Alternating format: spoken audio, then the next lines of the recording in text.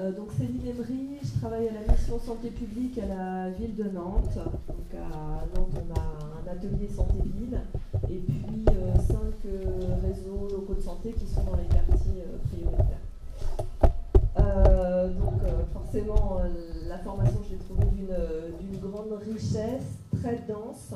elle suscite énormément de questionnements. Et je trouve que c'est une formation qui ne s'arrête pas au terme des des cinq jours, hein, puisqu'on a eu euh, deux jours ensuite, mais des trois ou cinq jours de formation, euh, dès qu'on a terminé, on se plonge dans les ouvrages sur la question de la co-formation, on va chercher euh, autour du lieu sur lequel on travaille les, alliés, les gens qui pourront nous continuer à nous aider, à nous conseiller un peu sur les démarches de participation, notamment à des habitants qu'on veut développer. alors, pendant euh, cette formation, on, euh, change, hein, on, évolue en fait, on n'est pas les mêmes avant et après. Il y a des, euh, idées, des certitudes qu'on pouvait avoir avant de démarrer et qui, changent fondamentalement au cours de la formation. Par exemple, moi j'avais engagé des démarches de, participation avec des, gens en situation de, de, grande pauvreté, notamment dans un établissement, les bains-douches municipaux. Euh, j'avais engagé ces, démarches en me disant que euh, le, principe à, avoir à, l'esprit dans, ces démarches, c'est que euh, le principe d'égalité entre tous, quoi.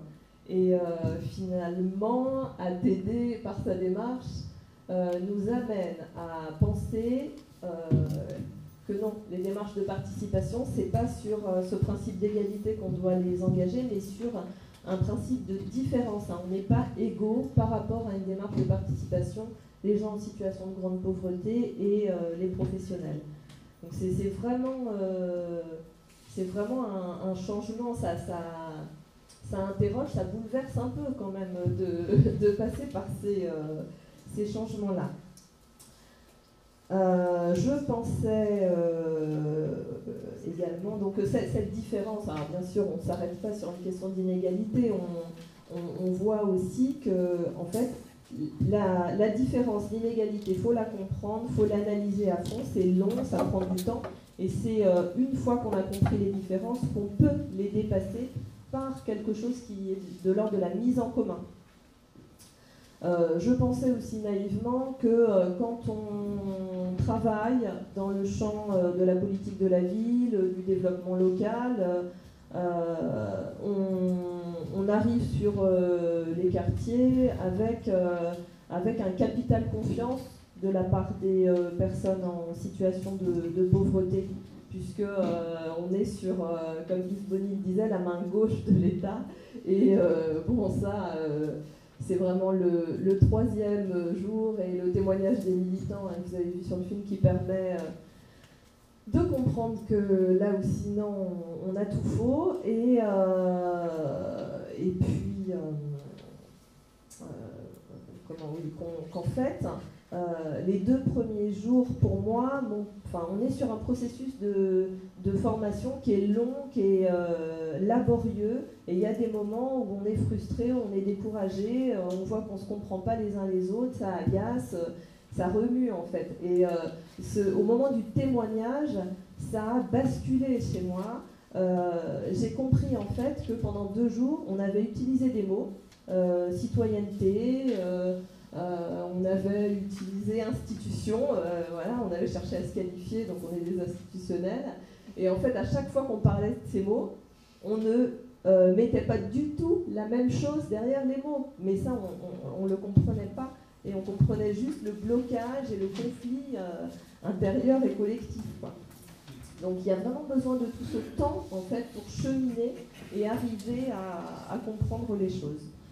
Euh, évidemment, j'ai euh, j'ai pris avec, euh, avec la violence que peut-être vous avez perçue là, dans le film, le lien que font les militants entre le social, la justice et puis la répression.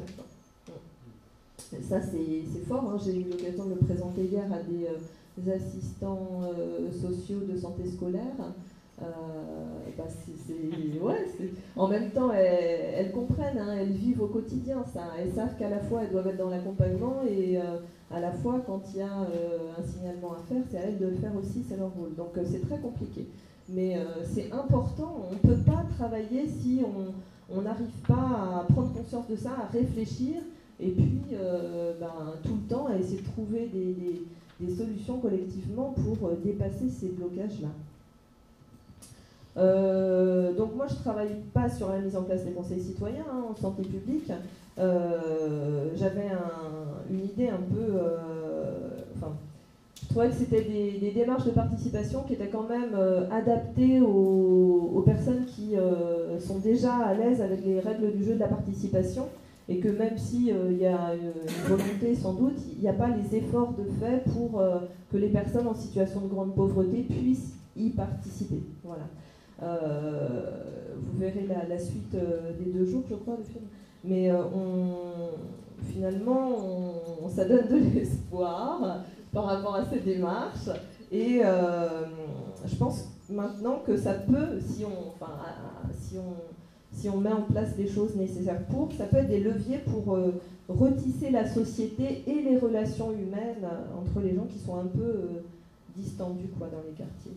Et puis, ça peut développer aussi le, pouvoir des personnes en situation de, pauvreté, et, le pouvoir qui est pensé comme une capacité à, s'exprimer, à, donner un avis, à influencer à faire des propositions et puis euh, à, faire valoir leurs intérêts, leurs droits.